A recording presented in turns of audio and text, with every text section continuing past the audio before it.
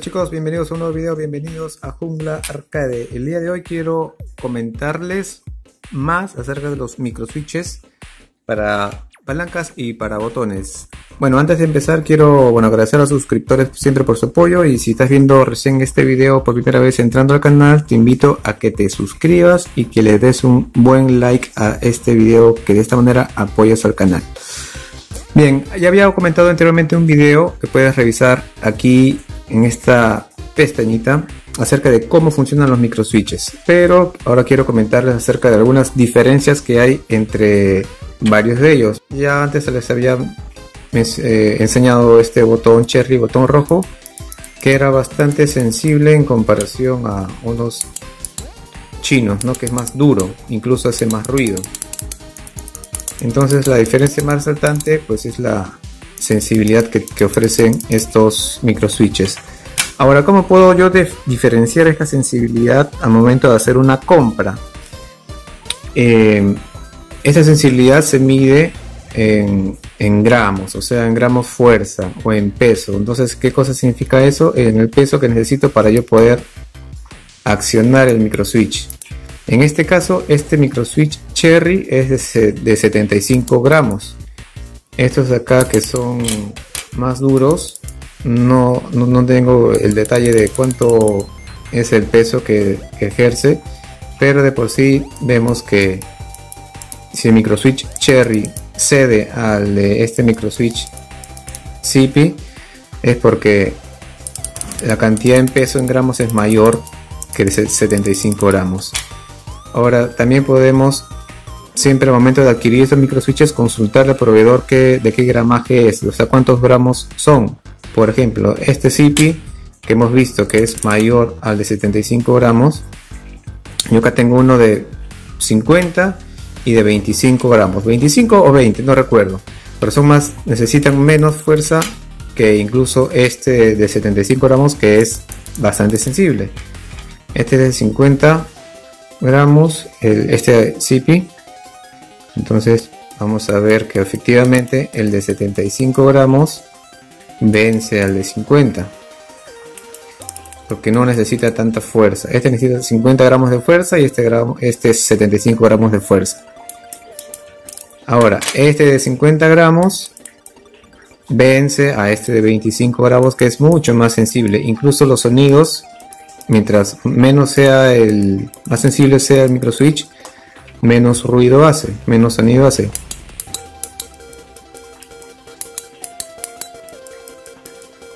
Entonces este micro switch de 50 vence a este de 25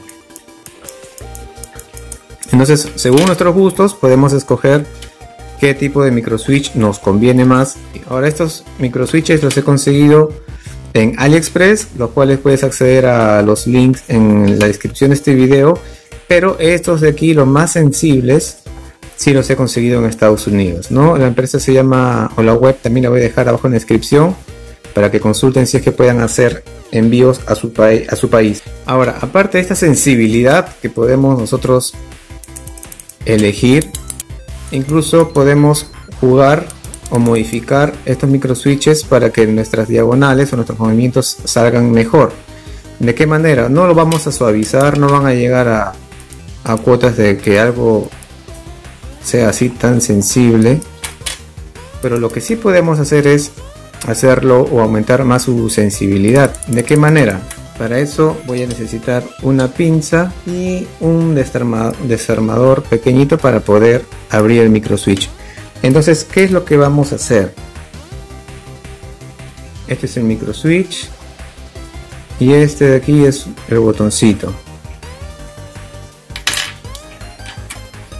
Es su botoncito. Entonces, nosotros cuando para accionar el micro switch tenemos cierta distancia que recorre el mismo botoncito del micro switch para poder accionarse. Por ejemplo, y aquí voy a tratar de hacerlo. Ya, estoy aplastando, pero aún no se activa el micro switch. Recién a esa distancia ya se activó. Nuevamente. Ahí recién se ha activado. Pero ¿qué pasaría si simplemente podemos hacer que se active ahí y no hasta abajo. Que en vez de, de que se active recién a esta altura,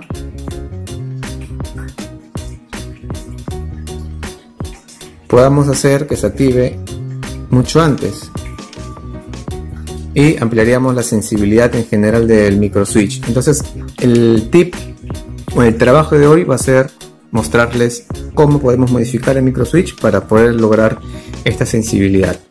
Bien para hacer esta modificación voy a hacerla con este micro switch de aquí es este sí es bien bien bien genérico. Entonces a este de aquí no lo voy a suavizar pero voy a hacer que sea más sensible que esa es la finalidad de este de este proyecto. Lo abro con un desarmador plano chiquitito. Con mucho cuidado que no se salgan disparadas las piezas internas. Bien veamos el interior del micro switch para poder identificar qué cosa es lo que vamos a modificar a ver, primero vamos a ver cómo funciona. Voy a apretar el botón. Estoy apretándolo. Y recién ahí se hace el contacto. Ahí. Lo que yo voy a hacer es tratar de que simplemente aquí ya se active. Y no hasta acá abajo. Es algo mínimo, pero realmente da buenos resultados. Entonces, ¿qué es lo que voy a hacer? Voy a modificar o torcer esta patita de acá. La patita que hace contacto con el plástico, con el botón plástico. Esta primera. Entonces, ¿cuál es la idea? Voy a tratar de graficarlo en mi super pantalla. Este es el botoncito.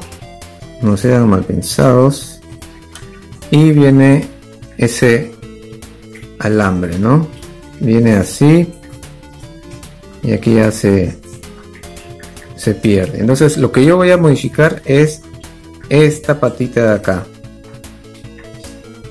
Esta. Tiene un ángulo casi recto y yo lo voy a lo que voy a hacer es abrirlo un poco.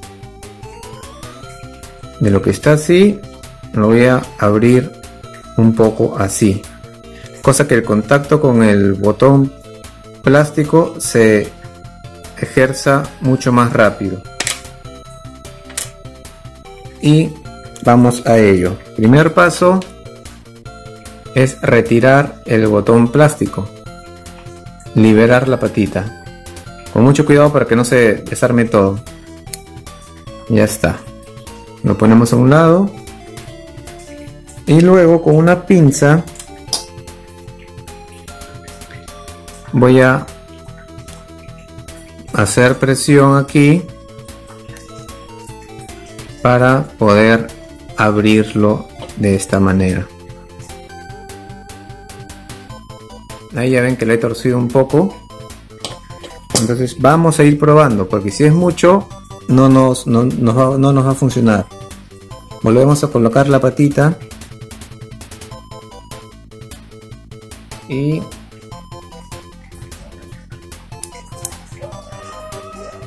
creo que nos falta más. Voy a volver a retirar. Y voy a volver a torcer esto. Ya está más abierta. Voy a volver a colocarlo y hacer la prueba.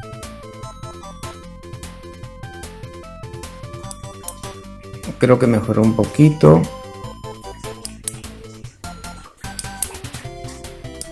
mejor un poquito. Yo creo que podemos hacerle más. Creo que está exagerado. Vamos a ver qué tal funciona.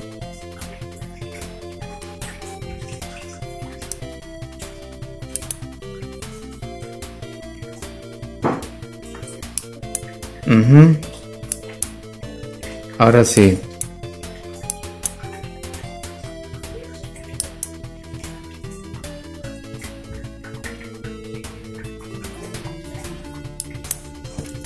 Ven que apenas se separa el plástico de la base del cuerpo mismo de microswitch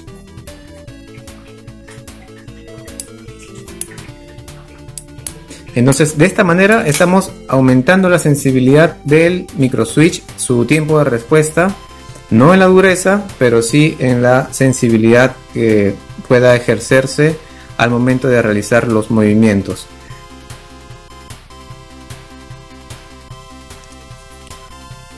Sigue estando duro, pero como hemos visto ya no necesito presionarlo tanto. Incluso este es el de 20 gramos, es más suavecito, pero el recorrido que hace este, ven, se presiona, recién ahí se, ahí, recién ahí. En cambio este es mucha la diferencia que hemos conseguido con este micro switch chanchito genérico chino. Le hemos mejorado enormemente su sensibilidad y con esto podemos mejora muchísimo la respuesta en los combos y en las diagonales. Entonces, si tenemos estas palancas eh, tipo americana o americana que tienen esas patitas metálicas y antes las torcíamos para que, para que haga mejor los contactos, con esto ya no sería necesario hacer esa modificación y ya nos sirve para todo tipo de, combinación de juegos. Bien chicos, solamente quería comentarles eso por este tutorial. Muchas gracias por ver este video y como les comenté inicialmente, si no estás suscrito, suscríbete y dale un buen like a este video. Ya saben que pueden conseguir estos componentes a través de mis enlaces de Jungle Arcade en AliExpress, en la descripción de, de este video y las compras que hagas ya sabes que apoyan a este canal. Muchas gracias chicos, hasta luego.